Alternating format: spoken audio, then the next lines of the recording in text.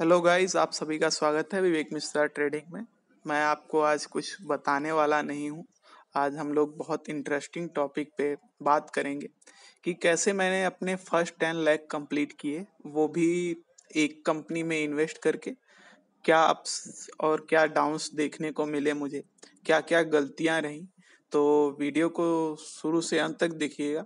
छोटी सी वीडियो में मैं आपको पूरा एक्सप्लेन करने वाला हूँ कि क्या गलतियाँ हुई थी और क्या क्या बातों का मैंने ध्यान रखा जो इतना अच्छा प्रॉफिट बनाया एक ही कंपनी में इन्वेस्ट करके। तो चलिए शुरू कर लेते हैं। तो दोस्तों देखिए जो जिस कंपनी में मैं इन्वेस्ट किया था, वो रिलायंस की है और वो टाइम था लगभग ट्वेंटी थ्री मार्च को जब मैंने इसको बाई किया था, एट हंड्रेड नाइन्टी के रुपीज़ पे। तब ये कंपनी 890 के रुपीस पे चल रही थी और मैंने इसकी 700 क्वांटिटी बाई किया था ठीक है?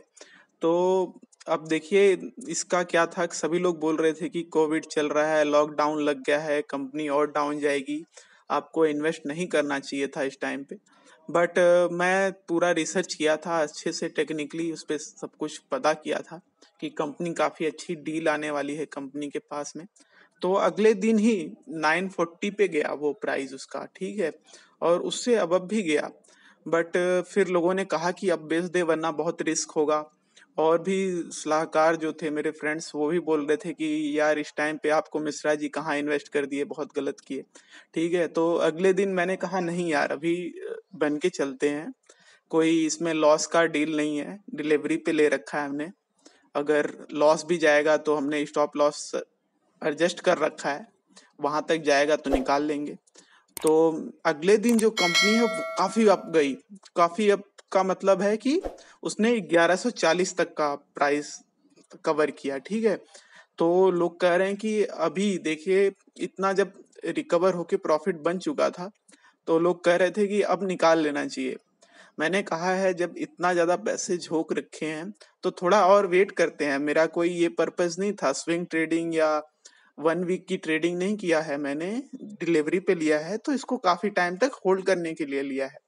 तो उसके बाद काफ़ी उस इतनी बड़ी मूवमेंट के बाद कंपनी में डाउन आए। ज़ाहिर सी बात है कोई कंपनी इतना ज़्यादा उछाल मारती है तो उसमें एक, एक दो दिन डाउन ट्रेंड बनते हैं।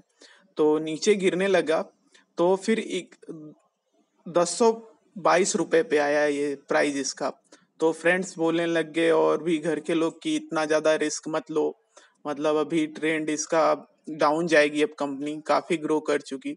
वो लोग इन्वेस्ट किए उस टाइम पे इसलिए इतना मूवमेंट दिखाई। तो मैं अपना फिक्स था कि इसको एक अच्छे प्राइस पे ही मेरे को बाहर आना है। तो मैंने बिल्कुल इसमें से निकला नहीं और मैं हर दिन चार्ट देखता रहा, बस कि ग्रो करे और ग्रो करे, फिर ये फाइनली फिर उसके बाद सेवन अप्रैल को इसने अच्छी खासी मूवमेंट दिखाया और इसने अपना पुराना वाला चालीस वाला ब्रेक किया और ये कंपनी बारह सौ तीन रुपए के ऊपर गई। ठीक है? अगले दिन फिर कंपनी ग्रो पे ही रही ग्रीन पे रही, फिर नाइन अप्रैल को भी ग्रीन पे रही। फिर उसके बाद फिर से थोड़ा उसमें डाउनफॉल आया क्योंकि कंपनी ग्रो की और मुझे पता है कि कोई कंपनी अप जाएगी तो उसमें एक दो टाइम तो डाउन ट्रेंड बनेगा। तो कंपनी फिर 1140 पे आई तो मैंने ये ध्यान में रखा कि जो मेरा पुराना हाई था 1140 वाला, कंपनी वहीं पे जाके बंद हुई है। तो मुझे अगले दिन का वेट करना था। तो अगले दिन का वेट किया तो वहाँ से क्या है, कंपनी डाउन की बजाय अप गई। तो मैं सोचा कि अभी इसमें और लंबा और लंबा मूवमेंट आने का टाइम है। तो उसके बाद 23 अप्रैल को, फिर उसके बाद 23 अप्रैल को एक गजब मूवमेंट आई। पता लगा कि कंपनी में बहुत ज़्यादा इन्वेस्टमेंट आई है। तो उसके बाद क्या है कंपनी ऊपर खुली, बहुत ऊपर खुली। बारह सौ बारह सौ ऊपर खुली, उसके बाद उसने थर्टीन हंड्रेड एट्टी टू का मूवमेंट दिखाया। तेरह सौ बयासी रुपए का मूवमेंट दिखाया। फिर उसके बाद मेरे को पता है, खबर काफ़ी अच्छी थी उस टाइम पे कि वो फेसबुक से और रिलायंस का कुछ, इन्होंने बात किया है, ठीक है? गेम का भी इन्होंने कर रखा था। तो उसकी वजह से क्या है कि चौदह सौ तिरासी रुपये पे चौबीस अप्रैल को गई है कंपनी फिर उसके बाद इतनी ज़्यादा मूवमेंट थी। अब मुझे पता था कि अब ये कितना भी डाउन जाएगा तो थर्टीन हंड्रेड से अब अब जाएगा, ठीक है? तो अगर इतने पे रहा तो मैं इसको सेल कर दूँगा। आप पूरा मूड में था कि अब सेल कर दूँगा। बट कंपनी थोड़े ही टाइम, ज़्यादा डाउन जाने की बजाय कंपनी ने फिर अपर मूवमेंट दिखाया। तो फिर मैंने इसका चार्ट एनालाइज किया और देखा कि ये अब तो एकदम अपना पूरा सबसे हाई पे चल रही है, जो कंपनी का अपना रिकॉर्ड है, उसको भी ब्रेक कर सकती है कंपनी। इसमें काफ़ी अच्छी अच्छी इन्वेस्टमेंट आ रही है, ठीक है? तो इस तरीके से था, फिर ये कंपनी में थोड़ा अप डाउन, थोड़ा अप डाउन चला पूरा मई का महीना। उसके बाद जून से फिर इसमें ग्रोथ दिखी कि अब ये फोर्टीन हंड्रेड को भी ब्रेक करके ऊपर जा रही है। तो ये पंद्रह सौ छत्तीस रुपए पे गई। उसके बाद मैं इसमें बना ही रहा। मेरे को पता था कि इसमें अभी सेल करने का टाइम नहीं आया है। कंपनी अच्छा ग्रोथ दिखा सकती है। फिर 19 जून को इसमें एक और इन्वेस्टमेंट होती है, बहुत बड़ी।